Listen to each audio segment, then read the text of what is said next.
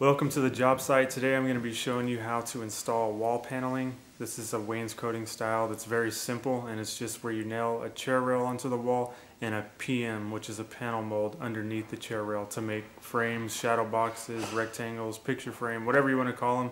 We're going to be making boxes on the walls underneath the chair rail. And we did it at this house a few months ago and if you look over here off the stairs, this is what we did. That's what I'm going to be showing you how to do today. So stick around. So here's the wall that I'm going to be showing you how to do as with all our other wainscoting videos. I show you how to do one wall just to give you a basic idea. Here's the one wall that we're going to be doing. The first thing I'm going to do is mark off the height of the top of the chair rail.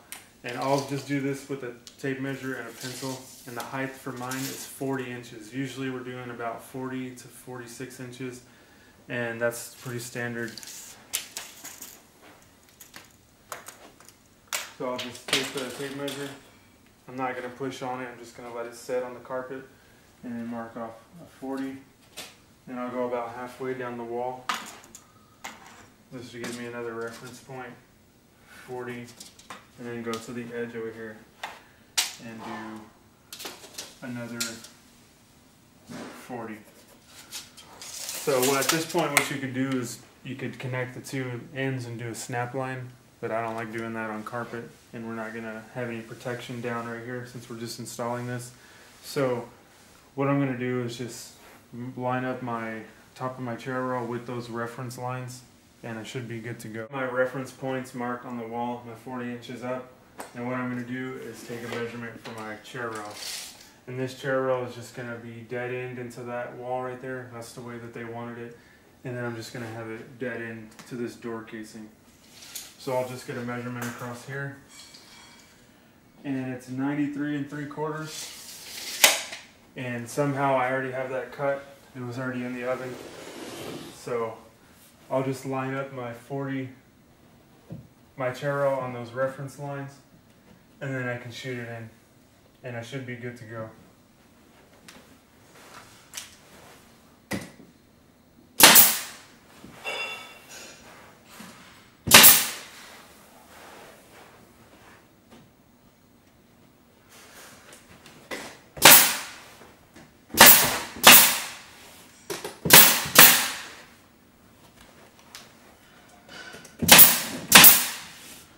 So, now that I have that chair rail in, you saw how easy that was. This is really the easiest way to dress up your walls with the wainscoting look.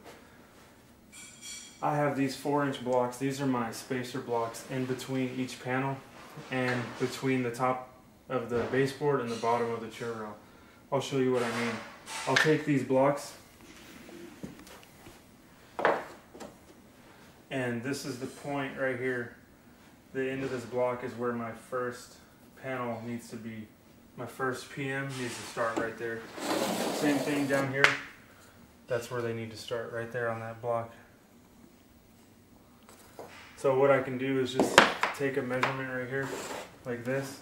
Or not a measurement, but make a little line like this. And then come down on this side. And you see the point of intersection.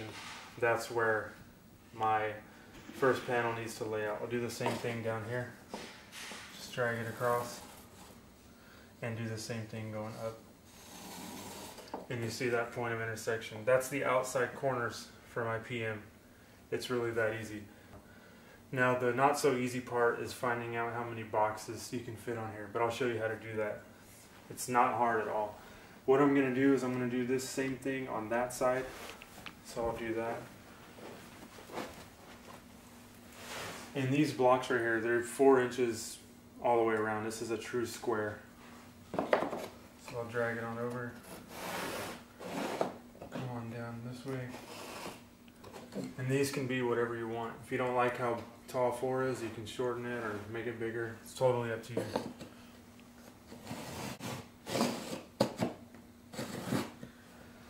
So now what I'm going to do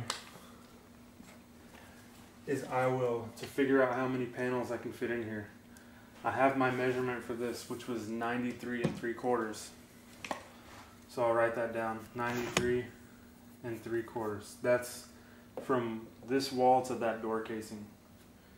And what I'll do just to make sure that it's kind of square, just to make sure that it's fairly even, I'll take a measurement of the bottom too. I'm gonna hit the wall, come over to the door casing, 93 and 5 eighths. I'm an eighth of an inch off. That's not something I'm worried about. The 93 and 3 quarters, what I need to do is subtract 4 inches from each side. So that'll give me a total of 8 to subtract. So we go 93 and 3 quarters minus 8, which is 85 and 3 quarters. 85.75. So the way this is going to work is now I've just got to determine how many panels do I want to fit on this wall. And a good reference point is the rest of the house. What matches with the rest of the house. So just looking at this wall, I think I can fit one, two, three, four, let's say five. So if I want to put five panel boxes on here, what I'll do is I will do four times four, which is 16, and I will take 85.75 minus 16. So the reason I did four times four is because if you want five boxes, you have four spaces in between those boxes. If you want six boxes, you have five spaces in between those boxes. If you want seven boxes, you have six spaces in between those boxes.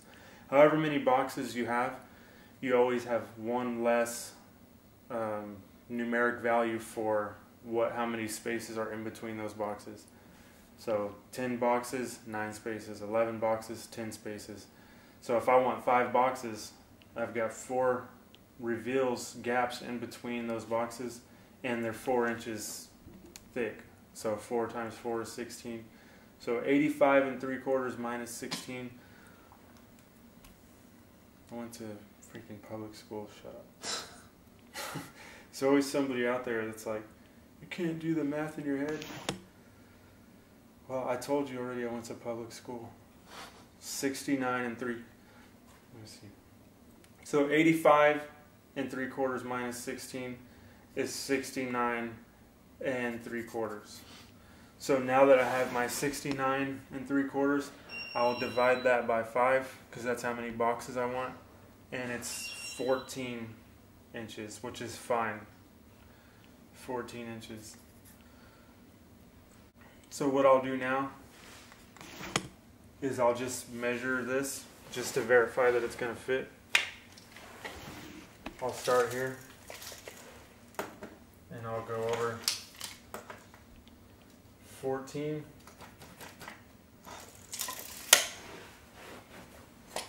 make this block right here pencil line this is just to get an idea if this is going to work or not. 14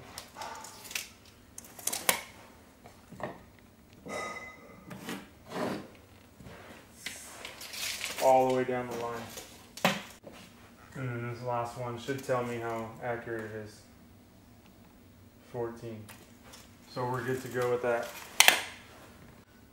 So now that I know the layout is going to work with my measurements, what I will do is just take a measurement from the top of this line, or from this top line to this bottom line. And I got 26 inches. So 26 inches high and 14 inches wide, that's each panel, that's what each panel is going to be. Now how many of those do I need? Well, if I have five boxes, I just multiply each number times two. So for the 26 inches, I need 10 of those, and for the 14 inches, I need 10 of those.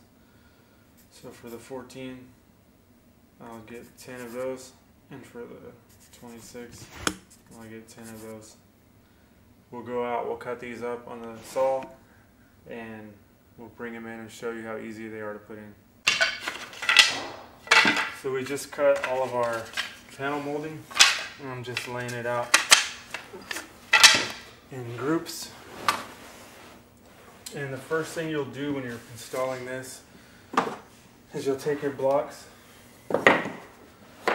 and just make a square like that so you can have something to push it up against.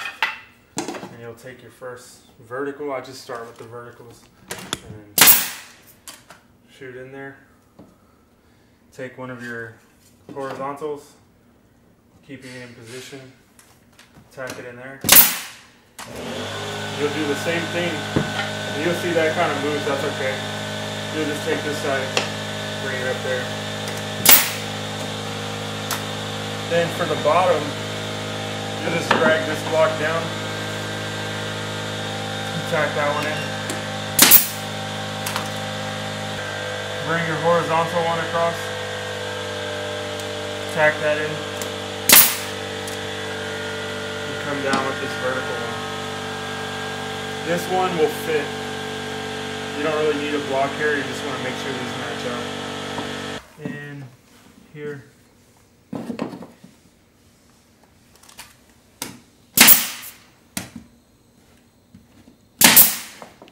And that's how simple it is. We'll go on down the line. One thing you can do with these panel molds, just to make sure they don't move around on you through the years, is just do a toenail either through the top and into that one or through the side.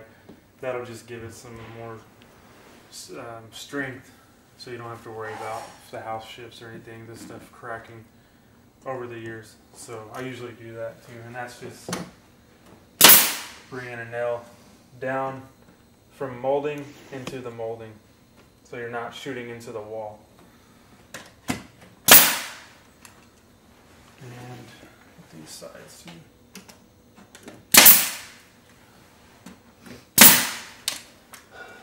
That should do it. I'll keep doing the same thing down the line and show you how that looks at the end.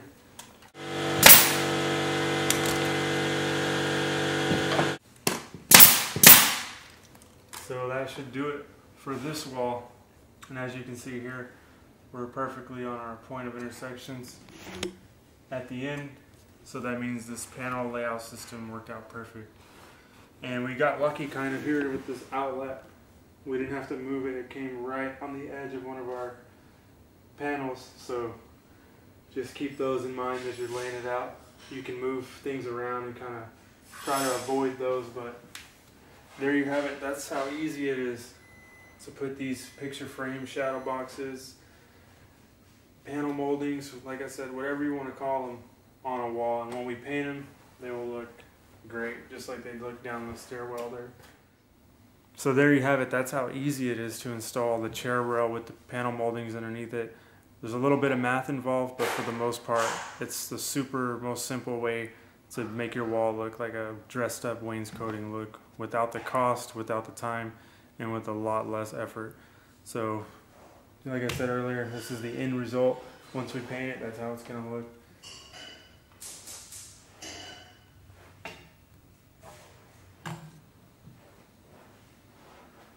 Thanks for watching again, and I'll catch y'all next time.